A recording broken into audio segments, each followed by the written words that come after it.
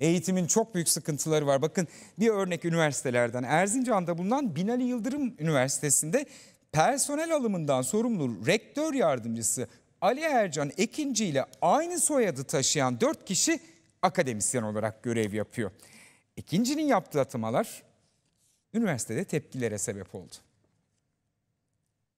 Liyakat tartışmalarının en çok yaşandığı yerlerden biri de üniversiteler. Kişiye özel açılmış kadrolar, tanıdık ve akrabaların alımı derken üniversitelerde kayırmalar sürüyor. Bir örnekte Erzincan'da bulunan Binali Yıldırım Üniversitesi. İddiaya göre personel alımından sorumlu rektör yardımcısı olarak görev yapan Profesör Doktor Ali Ercan Ekinci'nin yaptığı atamalar üniversitede tepkilere neden oldu. Üniversitenin Edebiyat Fakültesinde aynı soy isminde iki akademisyen bulunuyor. Profesör Ali Ercan Ekinci aynı zamanda rektör yardımcısı. H. Ekinci ise Fen Edebiyat Fakültesinde doktor öğretim görevlisi olarak görev yapıyor. HB Ekinci Spor Bilimleri Fakültesinde görevli. Bu üç ismin dışında aynı soyada sahip iki kişi daha üniversitede çalışıyor. LO ikinci İktisadi ve İdari Bilimler Fakültesinde araştırma görevlisi olarak çalışırken, E ikinci ise Üzümlü Meslek Yüksekokulu'nda öğretim görevlisi olarak ders veriyor. İddiaya göre aynı soy ismindeki akademisyenleri üniversiteye alan kişi, personel alımından sorumlu olan rektör yardımcısı Profesör Ercan Ekinci. Halk TV iddiaları sormak için Ekinci'yi aradı ancak ulaşılamadı. Atamalarla ilgili konuşan bir akademisyense söz konusu atamaların liyakatli değil, eş, dost, akraba ilişkileri üzerinden gerçekleştiğini söyledi ve bu atamaların üniversitenin genelinde rahatsızlık yarattığını ifade etti. Kabine toplantı halindeydi sarayda. Son 4 saattir konuşmaktaydılar Türkiye'nin meselelerini ya da öyle olduğunu düşünüyoruz en azından. Yerel seçimleri değil de Türkiye'nin meselelerini konuşmuşlardır herhalde diye düşünüyoruz. 4 saatlik toplantı az evvel sona erdi ve sarayda Cumhurbaşkanı Erdoğan'ın açıklama yapması bekleniyor. Evet normalde pazartesi günleri toplanıyor saray kabinesi ancak dün biliyorsunuz Cumhurbaşkanı Erdoğan Soçi'deydi. O yüzden bugün toplandı. Masada ekonomi de vardı diyorlar. Bakalım yap, yapılacak açıklamada ekonomiye dair sözleri olursa onları da canlı yayında ekrana getiririz. Erdoğan ekonomiden bahsediyor. Bir kulak verelim bakalım yeni bir karar var mı ekonomiyle ilgili? izah edilemeyecek yüksek oranlarda fiyat artışları yapıldığına şahit oluyoruz. Çalışanların ücretlerine yapılan her artış daha para insanların cebine girmeden kat ve kat fazlasıyla A'dan Z'ye her ürüne, her hizmete yansıtılıyor. Petrol fiyatlarındaki her artış etiketlere aktarılırken düşüşler görmezden geliniyor. Üstelik aynı ürün veya hizmetin farklı yerlerdeki fiyatları arasındaki makasın çok açıldığı durumlarda var. Demek ki kurdaki ve enflasyondaki artış oranlarının ötesinde bir fiyatlama güdüsüyle karşı karşıyayız. Bu da karşımızdaki sorunun ekonomik değil psikolojik olduğuna, hayat pahalılığıyla enflasyonun farklı gerçekleri gösterdiğine işaret ediyor.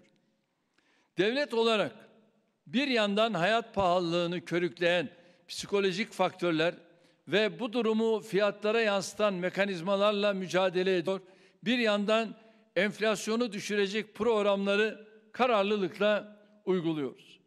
Her türlü yalanla ve iftira ile idari kurumlar ve yargı nezdinde mücadelemizi sürdürürken vatandaşlarımızı bu zehirli iklimin yol açtığı zararlardan korumak için gereken adımları da atıyoruz.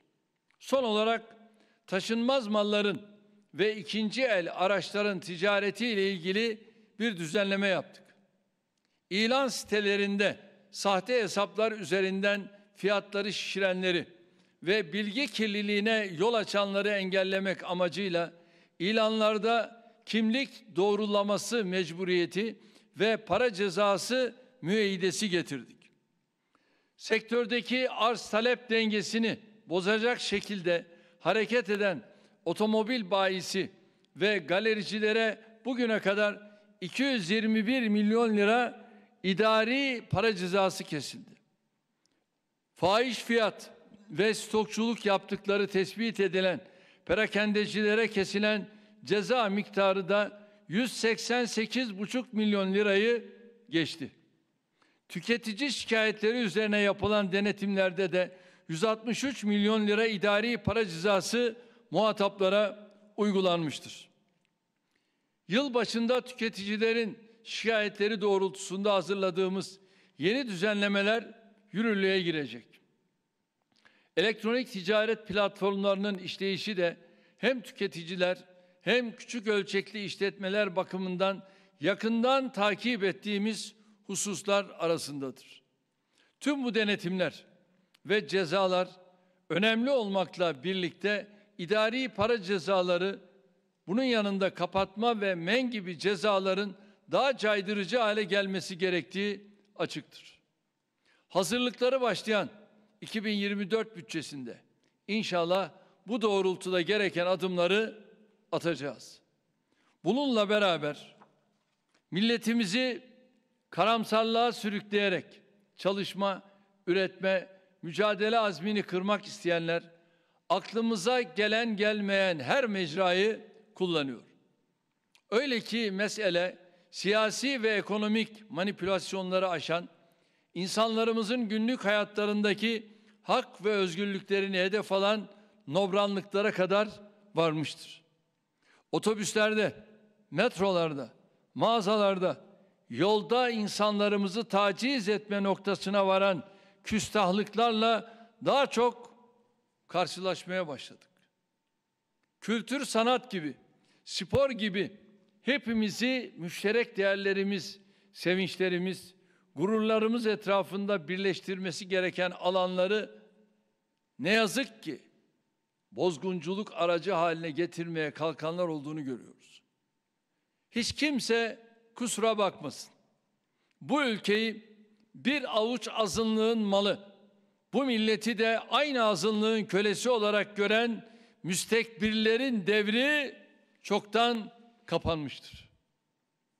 Özellikle sandıkta yaşadığı hezimetin faturasını 28 milyon vatandaşımıza kesmeye çalışan kibir kuleleri tamamen beyhude bir uğraş içindedir.